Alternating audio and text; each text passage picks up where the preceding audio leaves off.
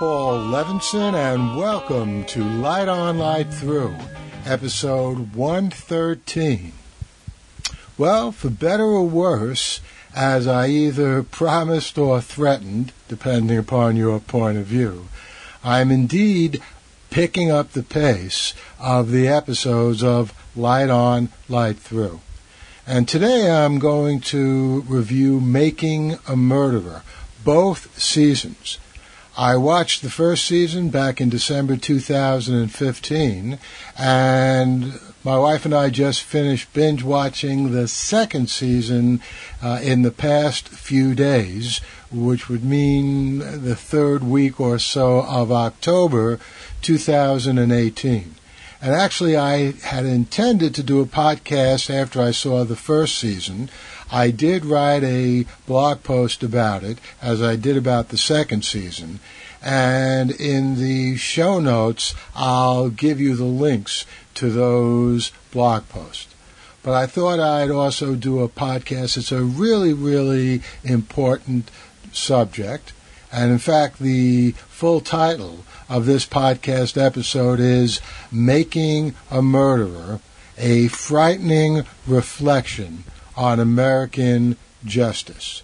And I'm going to begin by reading my review of the first episode and then on to the second episode.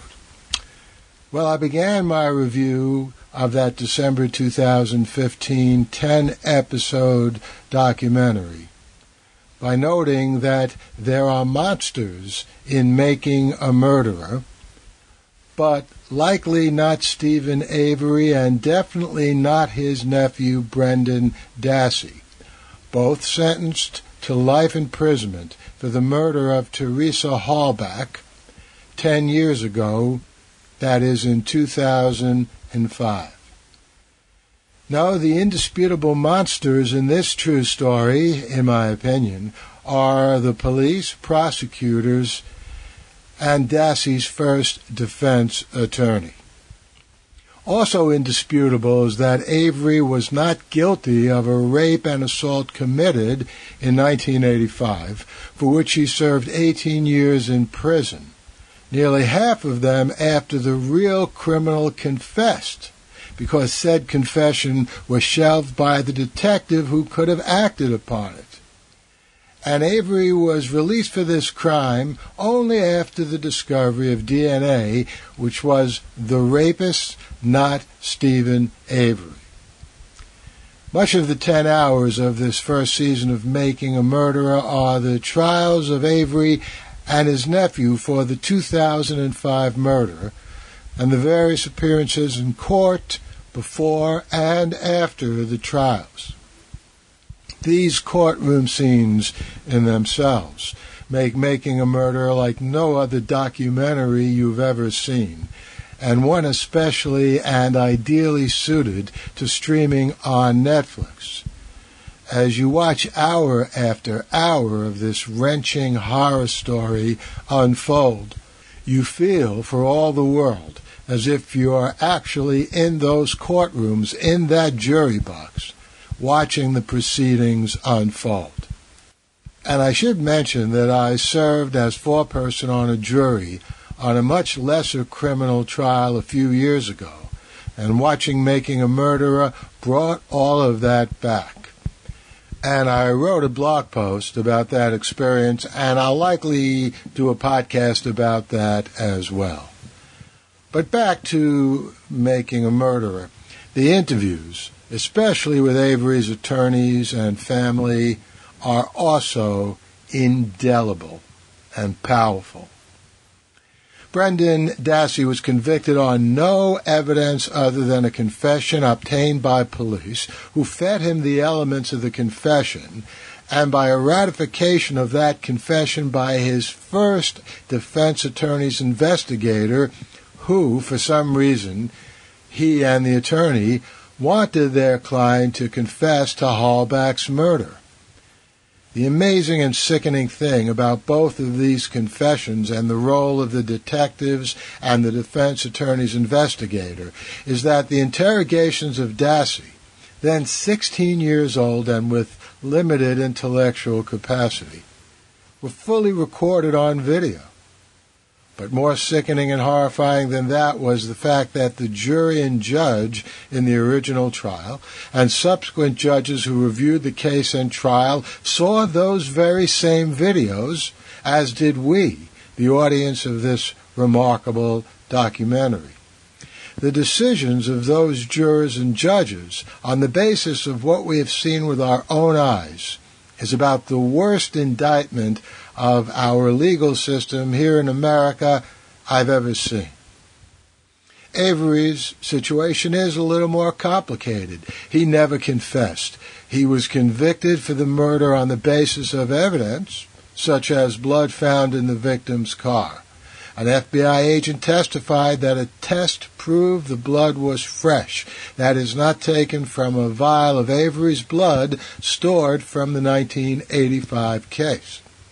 A forensic expert called by the defense testified that the FBI agent had not accurately reported the limits of the test. In particular, that the lack of an EDTA finding in the test did not prove that EDTA was not present in the blood.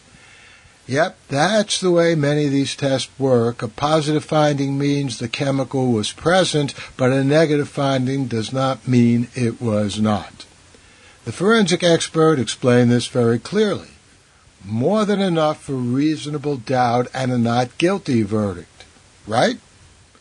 Well, you might think so, but not in this trial. Though it was later revealed that seven of the twelve jurors in the Avery case initially wanted a not guilty verdict and somehow were inexplicably talked out of it. Winston Churchill is famous for saying that democracy is the least worst form of government, and making a murderer provides a vivid piece of evidence that the same could be said about our judicial system. Video evidence, seeing something with your own eyes, was apparently not enough in Dassey's case. But then again, it hasn't been enough in the cases of cop after cop in the past few years shown right there on video shooting or otherwise killing an innocent African American. Not enough for grand juries to indict, or if they do indict, for most juries to return a guilty verdict. Now, let me just add this note in 2018 that is, thankfully, beginning to change. That is, cops who murder African Americans right there on camera are finally beginning to be brought to justice. But back to making a murderer. The common awful denominator of that story and all those Black Lives Matter cases in which the obvious guilty party walked away scot free is the undue respect so many Americans have. That is the undue respect so many Americans have for our police and prosecutorial systems. One can only hope, as more people see this extraordinary documentary, that they will begin to see the truth behind the curtain. Thank you, filmmakers Moira Demos and Laura Ricciardi, and Netflix for bringing this to our attention. And now I will read to you with probably certain additions and perhaps little deletions. My review of Making a Murderer 2, which I just saw, as I told you last week, I call this the very pits of justice. My wife and I binge watched the second season of Making a Murderer on Netflix in an America brought to new levels of injustice and anger and despair, courtesy of Donald Trump, and commitment to vote him and his Republicans out of office as soon as possible. The story of what happened to Steven Avery and Brendan Dassey provides yet another totally separate example of the decline and miscarriage of justice in America. In this case, due again to police, prosecutors, and judges, including the U.S. Supreme Court. The facts are these. Brendan Dassey confessed when he was 16 years old to murdering Teresa Halbach. There is no forensic evidence whatsoever to implicate him in the crime, yet he was convicted and sentenced to life in prison. The video in which he gave his confession couldn't be more clear. He is not very bright, and he's fed imagined details of the crime by his questioners, who were police, detectives. They told him what they needed to hear, over and over again, until he was able to mouth the words of his confession. All of that is laid out in sickening detail. That is sickening for American justice and what it now does in season one. Laura Nirider and Steven Drizin take up Dassey's defense in season two. They get no justice for their client in Wisconsin courts. Their only option is to appeal in federal courts.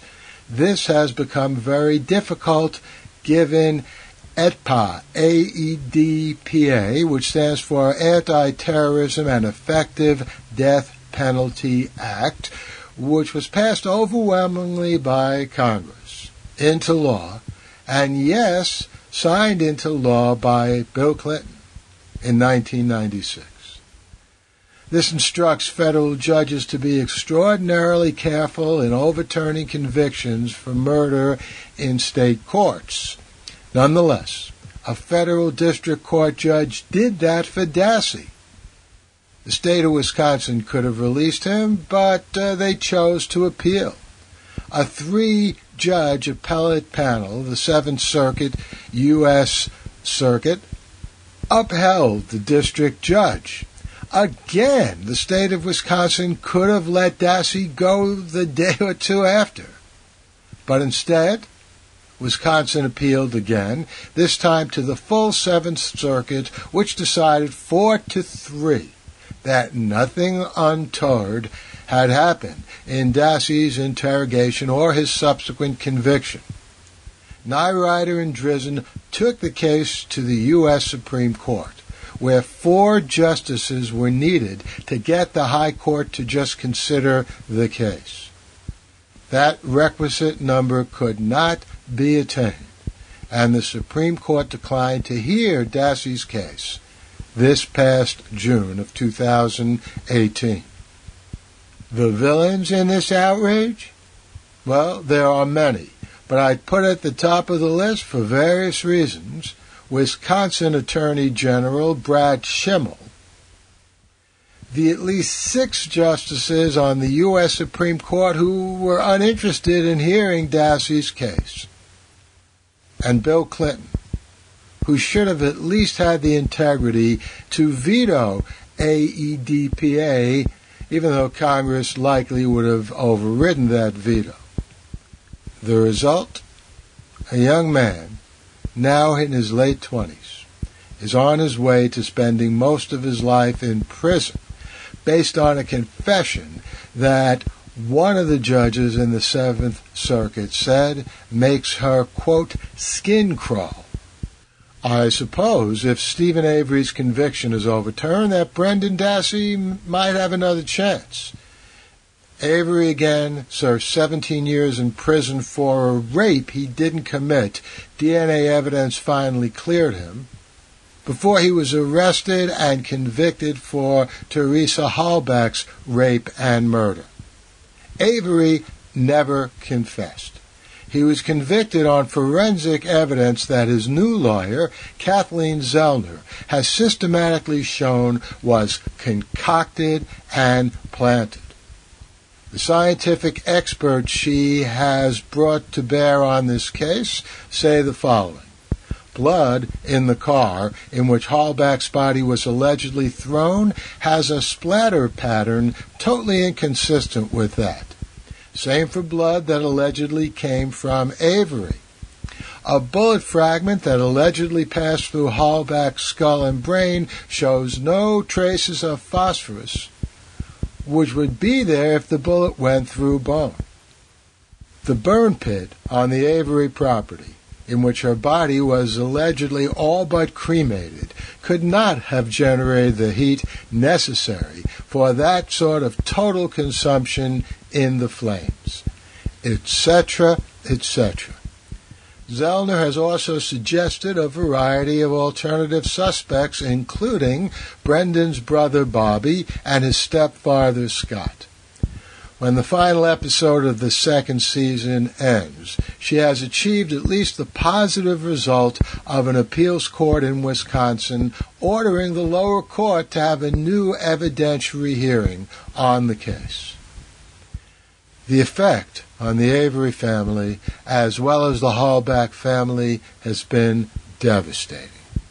Steven's parents are in their 80s, and everyone worries, with due cause, that they may pass away before their son is released.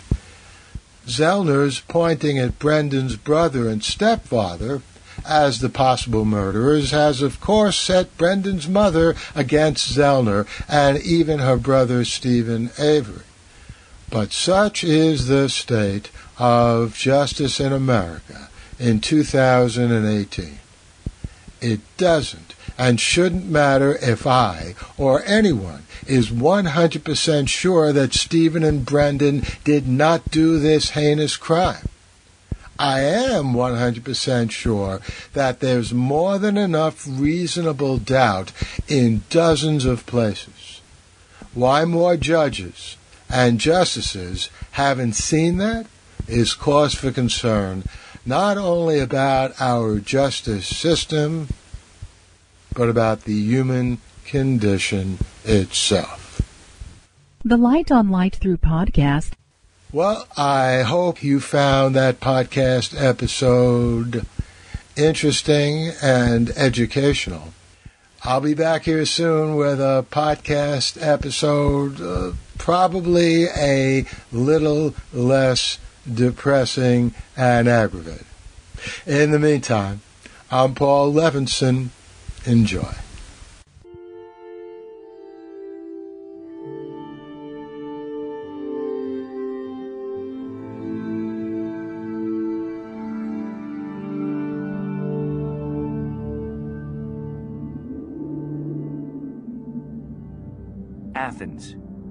2042 AD. She ripped the paper in half, then ripped the halves, then ripped what was left again into bits and pieces of history that could have been.